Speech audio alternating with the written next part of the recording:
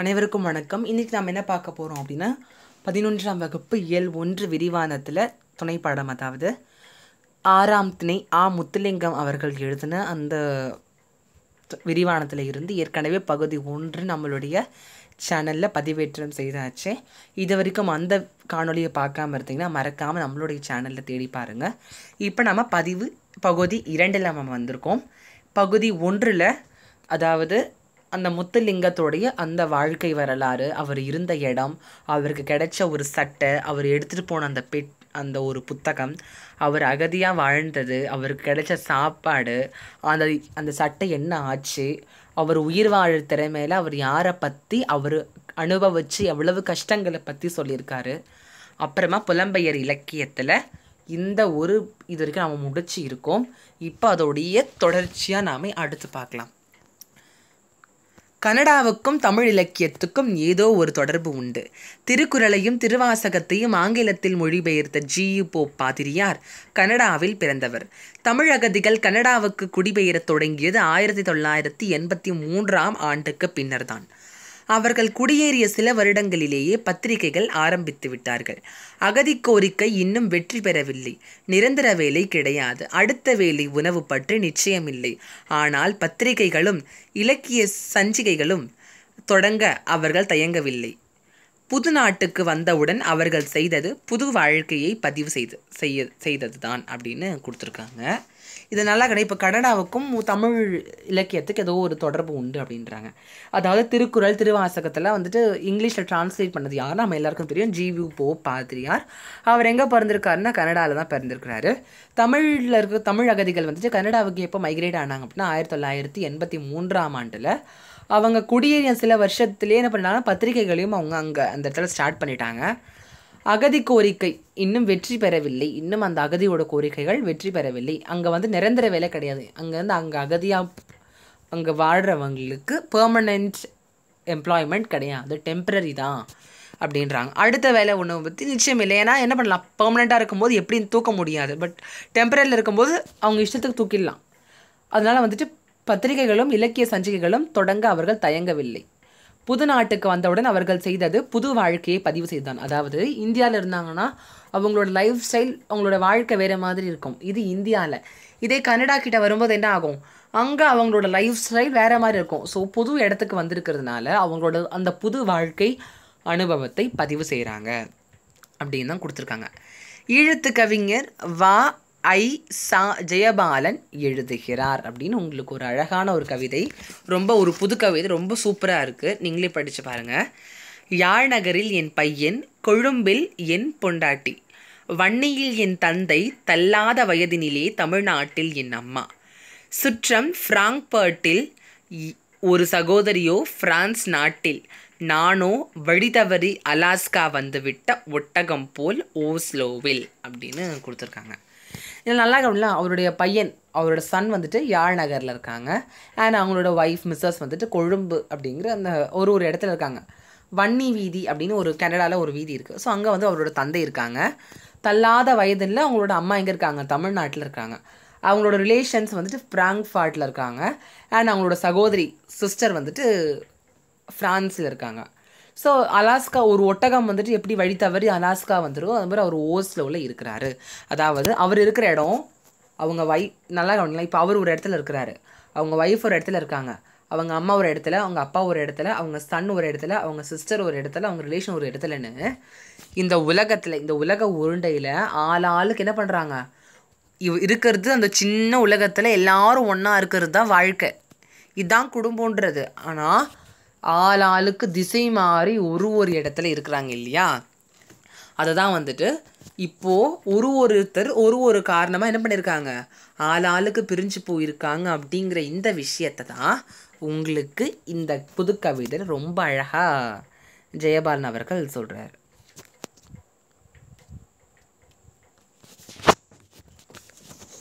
சரிங்களா? அடுத்தது கவிதைகள் எழுத முடியாதவர்கள் அவர்கள் சேர்த்து வைத்த நூல்களை சுமந்து கொண்டு வர மறக்கவில்லை. ஒருவர் சான் சாண்டில்யனின் கடற்புறாவை பத்து வருட காலமாக தூக்கி கொண்டு நாடு நாடாக அலைந்ததாக சொன்னார். இதற்கெல்லாம் காரணம் இருந்தது. ஆயிரத்தி தொள்ளாயிரத்தி எண்பத்தி ஒன்றாம் ஆண்டு மே முப்பத்தி ஒன்றாம் தேதியை எந்த ஒரு தமிழராலும் மறக்க முடியாது. ஓர் இனத்தை அழிப்பதற்கு அவர்கள் நூலை அவர்கள் நூல்களை அழி எரித்தால் போதும். அவர்கள் அறிவு மேலும் வளர்வதற்கு முடியாமல் நின்றுவிடும். ஃபாரன்ஹீட் நானூற்று ஐம்பத்தி ஒன்று நூல் அதைத்தான் சொல்கிறது. அறிவை சாகடித்து விட்டால் மனிதன் செத்து விடுவான். ரொம்ப அழகான வார்த்தை இல்லையா? ஆமாம் கவிதைகள் வந்துட்டு எழுத முடியாதவங்க என்ன பண்ணுறாங்க அவங்க வந்துட்டு சேர்த்து வச்ச அந்த நூல்கள் அந்த புக்ஸை வந்துட்டு அவங்க எடுத்து வர மறக்கல. ஒருத்தர் வந்துட்டு சாண்டில்யனின் கடல் புறாவை வந்துட்டு ஒரு டென் இயர்ஸாக வந்துட்டு தூக்கிட்டு வராரு. ஒரு நாடு நாடு அவர் எங்கெல்லாம் போவார் அந்த கடல் புறா வந்துட்டு தூக்கிட்டே போவார். அதுக்கெல்லாம் ஒரு காரணம் இருந்தது. என்னன்னா ஆயிரத்தி தொள்ளாயிரத்தி எண்பத்தி ஒன்றாம் ஆண்டு முப்பத்தி ஒன்றாம் மே முப்பத்தொன்னாம் தேதியில் எந்த ஒரு தமிழாலும் அந்த தேதியை மறக்க முடியாது மே தேர்ட்டி ஃபஸ்ட் ஏன் மறக்க இப்போ ஒரு இனத்தை வந்துட்டு அழிக்கிறதுக்கு அவங்களோட நூல்கள் போதும். கண்டிப்பாக ஏன்னா திருக்குறள் அப்படிங்கிற நூல் வந்துட்டு உலக பொதுமறையாக இருக்குது அது நம்மளோட தமிழோட நூல் நூல். தமிழ் நூல் தான் அது. அது இப்போ எப்படி இருக்குது உலக பொதுமறையாக இருக்குது அந்த ஆயிரத்தி முந்நூற்றி முப்பது குறளில் ஒரு வாழ்க்கைக்கு தேவையான அத்தனை விஷயங்களும் அத்தனை கோட்பாடுகளையும் மிக தெளிவாக மிக அழகாக நம்மளுடைய திருவள்ளுவர் நமக்கு தெளிவுற சொல்லியிருக்கிறாரு. எவ்வளவோ நூல்கள் அந்த நூல்களை எல்லாத்தையும் அழித்து விட்டால் என்ன ஆகும்? நம்மளுடைய அறிவும் சிதைந்து விடும். அதான் கொடுத்துருக்காங்க. ஓர் இனத்தை அழிப்பதற்கு அவர்கள் நூல்களை எரித்தால் போதும். வேற ஒன்றும் தேவையில்லை.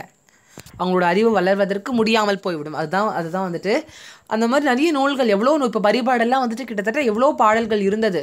ஆனால் அது என்ன ஆயிடுச்சு? நிறைய இது வந்துட்டு இயற்கை பேரிடராலும் இயற்கை சீற்றங்களாலும் அழிந்து போனதாலும் நமக்கு கிடைச்சது ரொம்பவே கம்மியானது தான் சரிங்களா? ஸோ இப்போ அப்படி கிடை இப்போ அந்த மாதிரிலாம் வரக்கூடாதுன்னா இப்போ எல்லாத்தையும் என்ன பண்ணிட்டாங்க?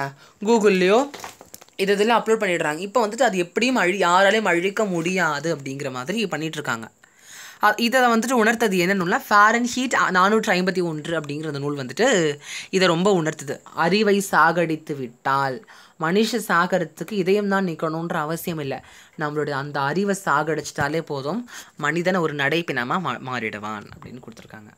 உலக அரங்கில் தமிழ் இதை நீங்கள் சொல்லவே வேணாம். எவ்வளோ விஷயத்த நீங்கள் பார்த்துட்ருக்கீங்க புலம்பெயர் தமிழர்களின் இரண்டாம் தலைமுறை தமிழை கைவிட்டு விடும் என்று பொதுவான குற்றச்சாட்டு இருக்கிறது. இன்றைய கணினி யுகத்தில் தமிழ் கற்பது இலகுவாகிவிட்டது. புலம்பெயர் நாடுகளில் தமிழ் கற்க முனையும் மாணவர்களின் எண்ணிக்கையும் அதிகரித்து வருகிறது. இதுதான் உண்மை நிலை. இவர்களில் சிலராவது உயர்ந்த இலக்கியங்கள் படைத்து தமிழை உலக அரங்கில் முன்னிறுத்துவார்கள். கண்டிப்பாக நம்மளுடைய உலக அரங்கில் தமிழ் எப்படி இருக்கு? அப்படின்னு கேட்குறாங்க புலம்பெயர் தமிழர்களின் இரண்டாம் தலைமுறை அதாவது மைக்ரேட் ஆகின இந்த இரண்டாம் தமிழ் அதாவது யூ ஆர் த ஜென்ரேஷன்ஸ் வந்துட்டு இப்படி தமிழை வந்துட்டு கைவிட்டுடுவாங்க. தமிழ் இறக் தமிழ் செத்து விட்டது அப்படின்னு இல்லாமல் அப்படிங்கிற ஒரு குற்றச்சாட்டு இருக்குது. தமிழ் எல்லாரும் கைவிட்டுடுறாங்க அப்படின்ட்டு. ஆனால் இந்த கணினி யுகத்தில் இந்த கம்ப்யூட்டர் ஜென்ரேஷனில் தமிழ் கற்கிறதுங்க ரொம்ப ரொம்ப ரொம்ப ரொம்ப ரொம்ப ஈஸி சரிங்களா? அந்த புலம்பெயர் நாடுகளை வந்துட்டு நிறைய பேர் தமிழ் கற்கிறதுக்கு ரொம்ப ஆர்வம் காட்டுறாங்க. இப்போ நம்ம எப்படி இங்கிலீஷ் அண்ட் ஹிந்தி கற்க நம்ம ஆர்வம் காட்டுறோமோ அதே மாதிரி அங்கே தமிழ் கற்கிறதுக்கு நிறைய மாணவர்கள் ஆர்வம் காட்டுறாங்க. இதுதான் வந்துட்டு ஃபேக்ட் ஸோ என்ன பண்ணலாம்? அவ அந்த மாதிரி ஆர்வம் காட்டின நிறைய பேர் அதெல்லாம் கற்றுக்கிட்டு நிறைய இலக்கியங்கள் படைத்து நம்மளோட தமிழை உலக அரங்கில் முன்னிறுத்துவார்கள் அப்படிங்கிற நம்பிக்கையில் நாம் இருக்கிறோம் அப்படின்னு சொல்லலாம். தமிழர்கள் எட்டு கோடி பேர் உலகம் முழுவதும் இருக்கிறார்கள். நியூசிலாந்திலிருந்து அலாஸ்கா வரை பறந்து போய் புலம்பெயர் தமிழர்கள் பத்து லட்சம் பேர் வாழ்கிறார்கள். கனடாவில் மட்டும் மூன்று லட்சம் தமிழர்கள் என்று கணக்கெடுப்பு சொல்கிறது. ஒரு காலத்தில் பிரிட்டிஷ் ராஜ்யத்தை சூரியன் மறையாத ராஜ்யம் என்று அழைத்தார்கள். இப்போதோ சூரியன் மறையாத தமிழ் புலம் என்று சொல்கிறார்கள். அதாவது தமிழர்கள் வந்து இந்த உலகம் முழுக்க எட்டு கோடி பேர் இருக்காங்களாம் இங்கே நியூசிலாந்தில் இருந்து டாப் டு பாட்டம் அலாஸ்கா வரைக்கும் வந்துட்டு தமிழர்கள் வந்துட்டு நிறைய பேர் ஒரு கிட்டத்தட்ட மைக்ரெண்டான ப அதாவது புலம்பெயர்ந்தவங்க மட்டுமே பத்து லட்சம் பேர் கிட்ட இருக்காங்க. அதில் கனடாவில் மட்டும் நிறைய பேர். கிட்டத்தட்ட கனடாவில் த்ரீ லேக்ஸ் கிட்டத்தட்ட பீப்புள் வந்து சென்சஸ் எடுத்திருக்காங்க. கணக்கெடுப்பு. இந்த சென்ஸ் சென்சஸ் அப்படி எடுத்திருக்காங்க. அவங்க எடுக்கும்போது சொல்லியிருக்காங்க. கிட்டத்தட்ட வந்துட்டு மூணு லட்சம் பேர் இருக்காங்க அப்படின்னு. ஒரு காலத்தில் இந்த பிரிட்டிஷ் ராஜ்யத்தை வந்துட்டு சூரியன் மறையாத ராஜ்யம் அப்படின்னு சொல்லிட்டு இருந்தவங்க இப்போ என்ன பண்ணிட்டாங்க? சூரியன் மறையாத தமிழ் புலம் அங்கே தமிழ் அப்படிங்கிற அந்த இது உயர ஆரம்பிச்சிருச்சு அப்படிங்கிறத நிரூபிக்கிறது தான் சூரியன் மறையாத ராஜ்யம் அப்படின்னு சொன்னவங்க. இப்போ என்ன பண்ணுறாங்களாம் சூரியன் மறையா தமிழ் புலம்னு சொல்கிறாங்க அப்படின்றாங்க. இரண்டாயிரத்தி பன்னிரெண்டாம் ஆண்டு வரும் இரண்டாயிரத்தி பன்னிரெண்டாம் ஆண்டு தொடங்கி வரும் எல்லா வருடங்களிலும் ஜனவரி பதினான்காம் நாள் தமிழ் பாரம்பரிய நாள் என பிரகன பிரகடனப்படு படுத்தப்படு பட்டிருக்கிறது கண்டிப்பாக நம்மளோட ஜனவரி பதினாலாம் நாள் பொங்கல் இல்லையா? பொங்கல் திருநாள் இல்லையா? ஸோ அதை வந்துட்டு தமிழருடைய பாரம் பாரம்பரியமான நாள் அப்படின்னு பிரகடனப்படுத்திருக்காங்க. அத்துடன் உலகத்தில் இரண்டாவது பெரிய தேசமான கனடாவில். நம்மளோட உலகத்தில் இரண்டாவது பெரிய தேசம் என்ன? கனடாவில் வந்துட்டு முதல் முறையாக ஒரு புதிய சாலை ஒன்றுக்கு வன்னி வீதி என்று பெயர் சூட்டப்பட்டிருக்கிறது. அதாவது இப்போ நம்ம நிறைய ஸ்ட்ரீட்ஸ் வச்சுக்கோம் நேரு நேரு தெரு காந்தி தெரு அப்படிங்கிற மாதிரி அங்கே வந்துட்டு வன்னி வீதி அப்படின்ற ஒரு தெரு வந்துட்டு வச்சுருக்காங்க.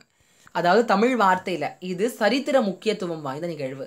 வன்னி வீதி தமிழர்களுக்கு சொந்தமான வீதி. இந்த வீதியை ஒன்று மிளகுவாக சிதைக்க முடியாது. நூலகத்தை எரித்தது போல இதை அழிக்க முடியாது. என்றென்றைக்குமாக கனடாவில் ஈழத்தமிழரின் புலம்பெயர் வரலாற்றை நினைவுபடுத்தபடியே இந்த வீதி நிற்கும். அதாவது அந்த வீதியில் ஃபுல்லாக தமிழ் பீப்புள்ஸ் தான் இருக்காங்க. ஸோ அவங்க எப்படி நிறைய நூல்களையும் நிறைய விஷயத்துங்க அழி எல்லாரும் அழித்த மாதிரி இந்த வீதியை யாராலும் அழிக்க முடியாது. இதுதான் வந்துட்டு ஒரு வரலாற்றில் பொறிக்கப்பட வேண்டிய ஒரு நிகழ்வு அப்படிங்கிற மாதிரி சொல்கிறாங்க கேட்கவே ரொம்ப சந்தோஷமாக இருக்குது இந்த மாதிரியான ஃபேக்ட்ஸ் கேட்கும் போது இதை வந்துட்டு யாராலையும் அழிக்க முடியாது. இந்த ஈழத்தமிழருடைய அந்த வரலாற்றை வந்துட்டு நினைவு கூறத்துக்கு இந்த வீதி வந்துட்டு ரொம்ப ரொம்ப ரொம்ப ரொம்ப இம்பார்ட்டண்ட்டாக இருக்கும். அடுத்தது பனியும் பனி சார்ந்த இடமும் அப்படின்னு இருக்கு. டைட்டில் கொஞ்சம் வித்தியாசமாக தான் இருக்குது இதை நீங்கள் படிச்சிட்டிங்கன்னா உங்களுக்கு இந்த கதை முடியுது. ஸோ இதோட அந்த கதை முடியுது. நம்ம என்னென்னு பார்க்கலாம்.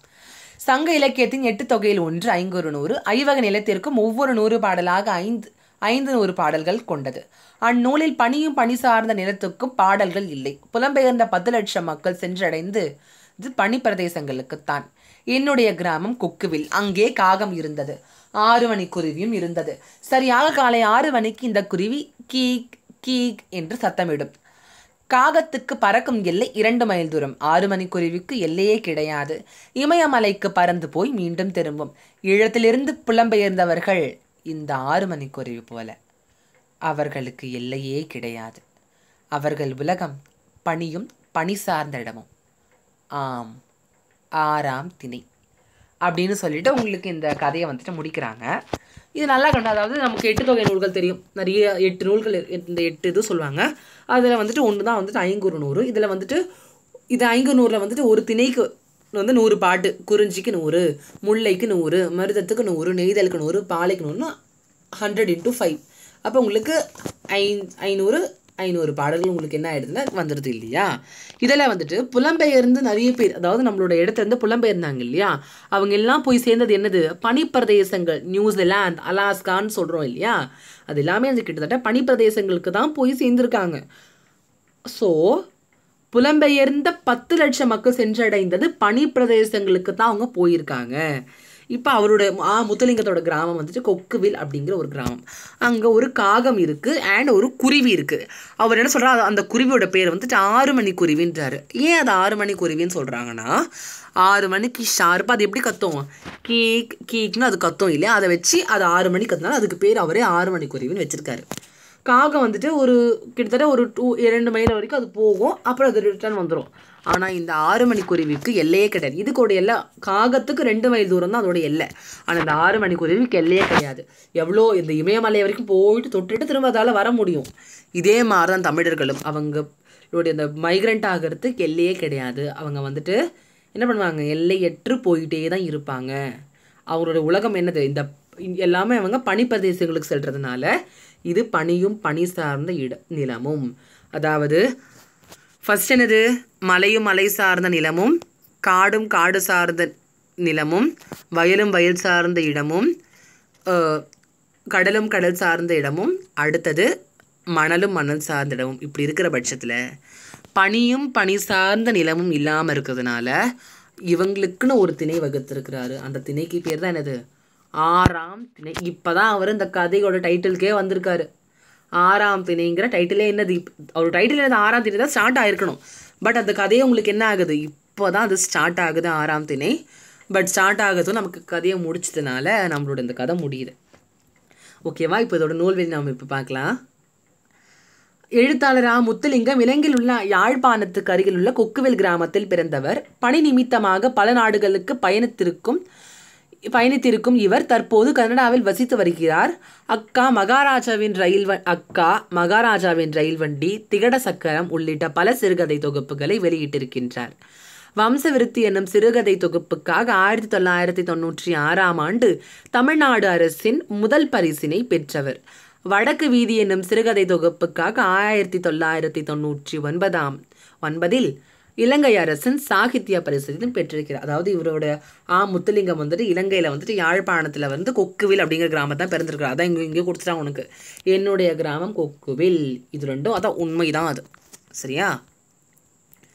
அதாவது பணி நிமித்தமாக பல நாடுகளுக்கு என்ன பண்ணியிருக்காரு அவர் போயிருக்காரு. அப்படி போகும்போது கனடாவில் அவர் கொஞ்ச நாள் வசிச்சிருக்காரு. வசித்து வருகிறார். இப்போ உயிரோ- அவர் உயிரோடு தான் இருக்கிறாரு. அதை மறந்துடாதீங்க. அண்ட் அக்கா மகாராஜாவின் ரயில் வண்டி திகட சக்கரம் அப்படின்ற பல சிறுகதை தொகுப்புகளை அவர் வெளியிட்டிருக்காரு. வம்ச விருத்தி அப்படிங்கிற ஒரு சிறுகதை ஒரு ஷார்ட் ஸ்டோரிக்காக ஆயிரத்தி தொள்ளாயிரத்தி தொண்ணூற்றி ஆறாம் ஆண்டு நம்மளோட ஸ்டேட் பரிசு வாங்கி ஸ்டேட் ப்ரைஸ் வாங்கியிருக்கிறாரு. அண்ட் அது மட்டும் இல்லாமல் வடக்கு வீதி அப்படிங்கிறது வந்து ஷார்ட் ஸ்டோரிக்காக சாகித்ய அகாடமி பரிசும் வாங்கியிருக்கிறாரு. ஸோ இதோட வந்துட்டு உங்களுக்கு இந்த ஆறாம் திணைங்கிற விரிவானம் முடிவடைகின்றது. இதில் ஏதாவது சந்தேகங்கள் இருந்தால் கீழே கம் கருத்து கருத்து தெரிவிங்க. இந்த வீடியோ உங்களுக்கு பிடிச்சிருந்தா லைக் பண்ணுங்கள் கமெண்ட் பண்ணுங்கள் ஷேர் பண்ணுங்கள் மறக்காமல் சப்ஸ்கிரைப் பண்ணி பெல் ஐக்கானையும் ப்ரெஸ் பண்ணுங்கள் தேங்க்யூ